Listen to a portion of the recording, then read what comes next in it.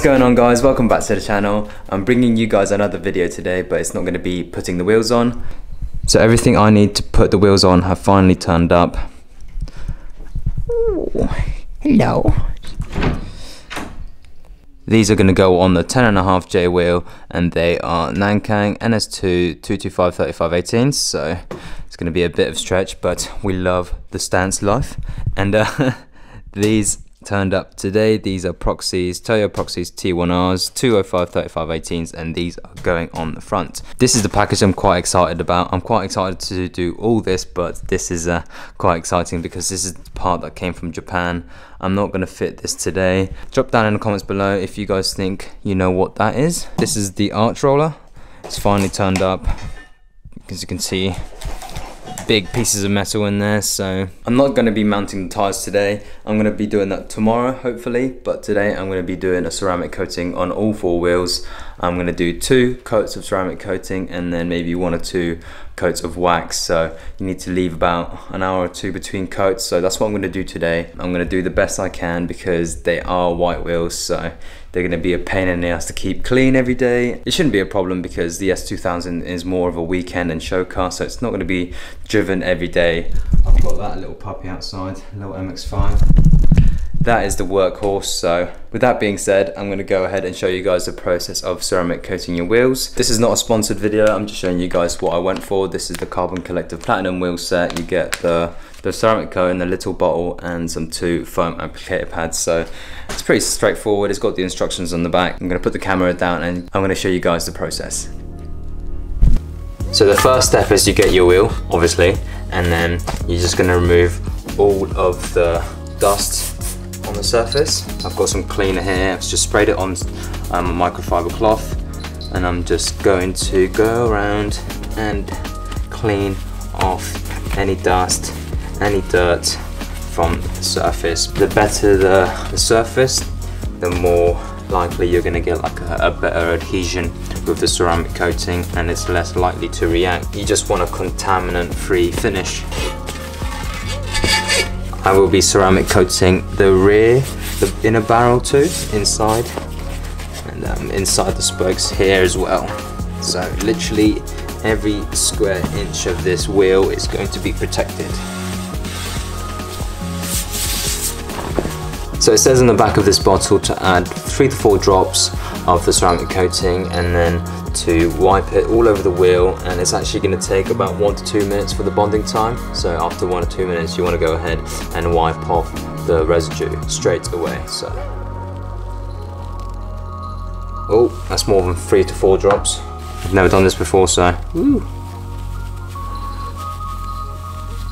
This is kind of fun. And of course guys make sure that you're wearing um, some gloves for this I'm not sure if these ceramic coatings are actually good for bare skin, but uh, I wouldn't risk it, so uh, I might actually uh, add a couple more drops because uh, do I do it? Do I do it? Should I do it? Should I do it? You know what? We're gonna send it. We're gonna add a couple more. And grab my microfiber. Get a nice clean side. Kitty, no.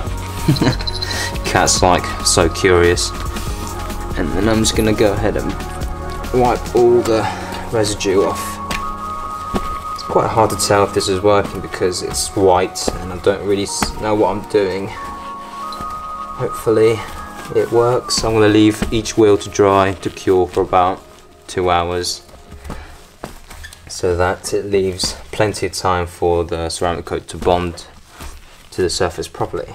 So there you have it, a ceramic coat wheel. Don't know if it's just me or does that look shinier than what it was before. Um, it looks good because obviously it's clean, but uh, yeah, that was pretty straightforward. Like I said, I'm not going to be, hello, I'm not going to be filming the other three wheels because it's the same process so I hope you guys enjoyed that. If you are interested then I highly recommend you getting um, yourself some platinum wheel ceramic coating and coating your wheels so that when it comes to maintaining your wheels then it's uh, it's not a chore so there it is carbon collective platinum wheels. So i was just speaking to one of my friends and they said that they might be able to mount the tires today. So that's really really good news. So i'm going to go ahead and ceramic coat the rest of the wheels so that it's ready for the tires. Just want to say for the people that have been watching my videos for the past couple of months or the og subscribers you might have noticed that i've changed my name from ronnie b to dvlp media.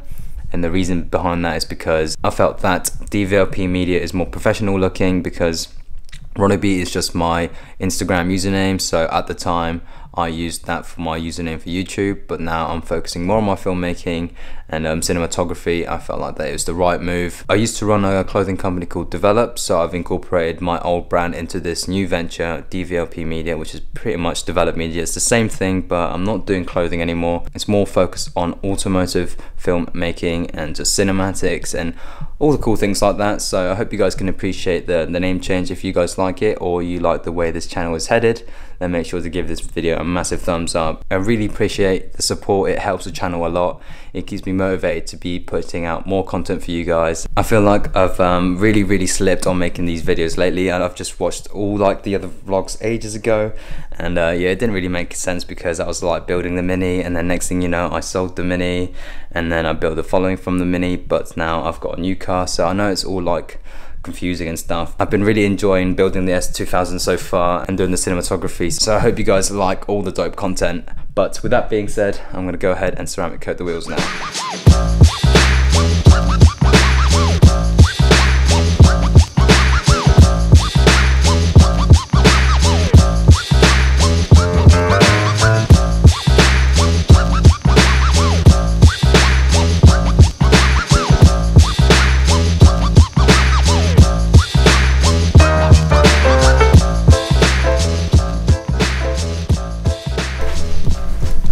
You comfy there, mate? You just chilling? Comfy? You know what you're doing.